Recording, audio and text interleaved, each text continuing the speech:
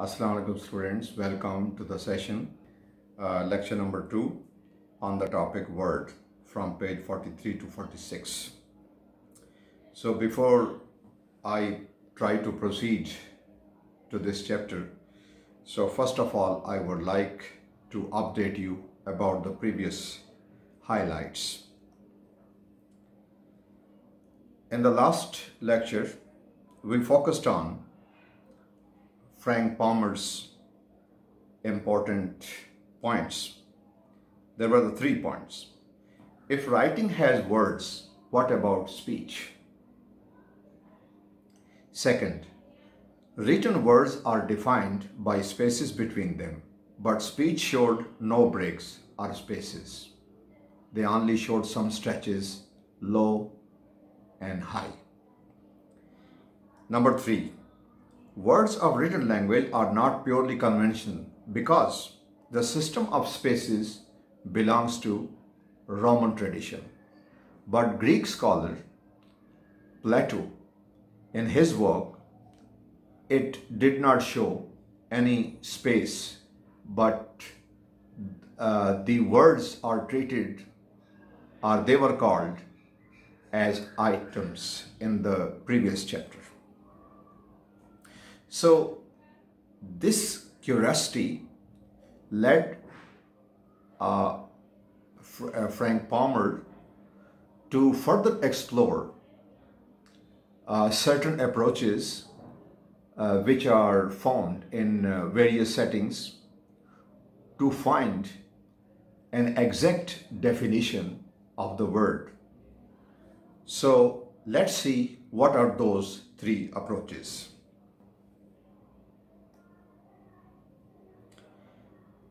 His questions are very objective. So the first approach he wants to see is through the semantic. Second is phonetic and phonological approach. And third is linguistic approach.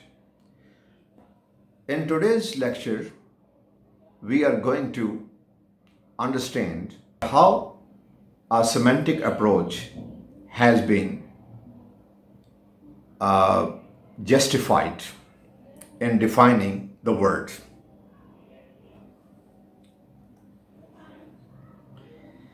So word is considered to be a linguistic unit and has a single meaning.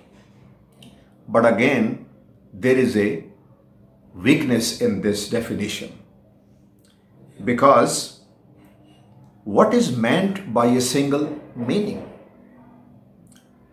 Because one word may have not a single meaning but more than two meanings.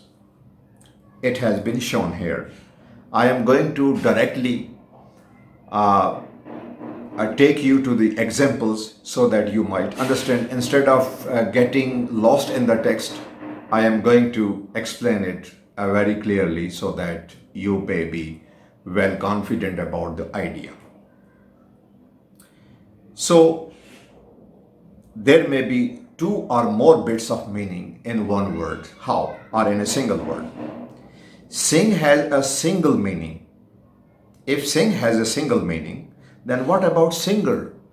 Because word singer, uh, in its concept, it takes three words. One who sings so these three words show that it does not offer any single meaning, but one as a quantity, who as a relation, a relative pronoun, and sings a person who performs this action. So these are three words.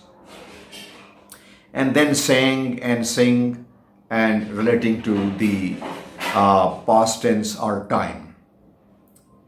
Then there is another word which is sheep. So the word sheep is again there are some certain lamb, eve, ram. They belong to the same species of animal which is called sheep. Similarly, I mean the meaning baby, mother, mother sheep or father sheep. So next. Similarly, elephant cough, elephant cow, elephant bull. So these examples are enough to understand. So let me uh, highlight some more. Even some of the objects which may be very familiar, still there are some discrepancies. It means there are some certain issues, problems. So we have to use two words to distinguish. I mean, instead of using one word as a linguistic unit, sometimes we need to use two words to describe a single meaning. For instance, passenger train with goods train. So the train is a single, but it is not clear unless and until it is associated with either it is a passenger train or a goods train. Similarly, in vehicle, in the word vehicle, there are the other, you know, two more, bus and lorry. So, the most important, uh, you know, quotations which have been given here, Eskimo has four words for different kind of snow. And Bedouin, the Arab, uh, you know, people, Bedouin has many words to describe uh, camel. Maybe small camel and different uh, breed of the camel, something. To translate these into English. Next.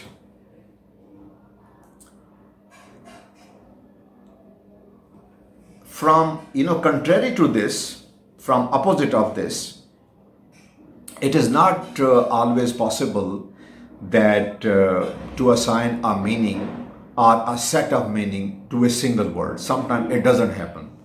For instance, the meaning of put up with.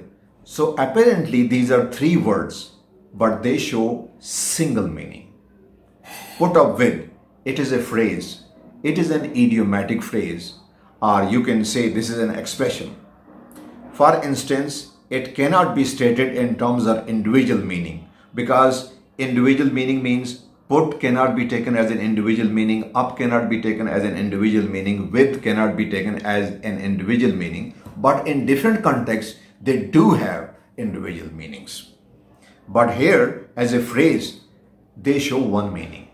So each word doesn't show different type of meanings.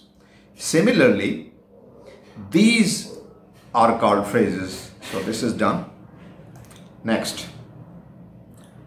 Other examples are like artificial florist, criminal lawyer, and uh, similarly it may be broken into two, uh, you know, uh, parts, smoke, smoker, artificial, floor, florist, criminal, law, or criminal lawyer.